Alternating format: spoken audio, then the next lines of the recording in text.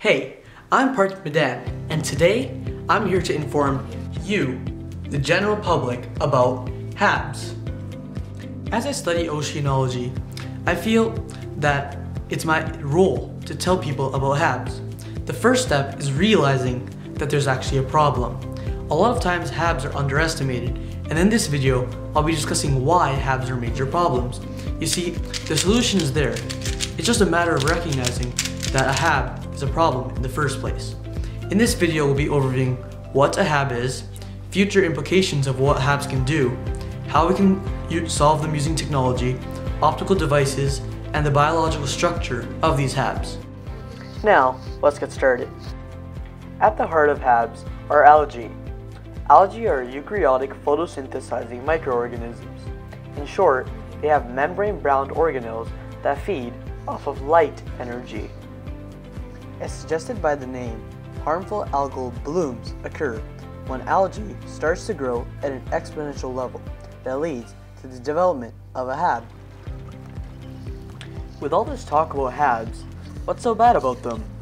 Well, these large amounts of algae that collect together release extremely harmful toxins in the residing areas. This causes depletion of oxygen in the water and it also contaminates the air nearby. This has economic, environmental, and social impacts. Millions of fish die due to either being contaminated or by relocating due to the lack of oxygen. Humans consume the contaminated fish, and they also breathe in the toxic air. This leads to respiratory issues and food-related illnesses. Fishermen, the hospitality industry, the tour tourism industry, and related affairs are also affected by an astounding $82 million in losses due to these HABs. Now that we have learned what HABs are and their effects, let's take a deeper look at the biology behind HABs. We'll start by investigating the biological structure of algae. Looking at the diagram, we see that algae has a lot of organelles that are similar to plants. One important one is chloroplast. The chloroplast is where the process of photosynthesis occurs, and is how algae produces its food. Now this sounds awfully similar to plants. However, algae is actually classified as protist. This is due to some discrepancies and commonalities that were discovered, such as the fact that algae also gathers food opposed to solely producing it.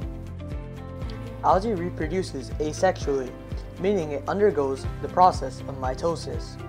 Cells undergo the many phases of mitosis, where DNA is copied and eventually two identical daughter cells are produced. This is one of the reasons algae reproduces at an exponential rate. HABs occur naturally, however, in certain conditions HABs are more likely to occur, and a lot are due to humans. High temperatures and runoff, including nutrients like phosphorus and nitrogen, are few of the many conditions that trigger growth. Well, you may be wondering, what current methods are in place to prevent these HABs? And to tell you the truth, there are little to no methods currently in place.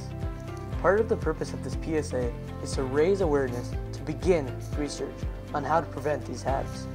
As individuals, we can try to prevent the conditions from occurring.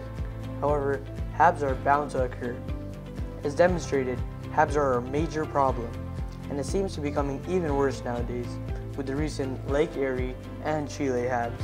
Please like, comment, and share this video as it will help inform the public. For more information on HABs and how optical devices are used to detect HABs, check out our website at hablabs.cf. Thank you for watching and I hope you enjoyed.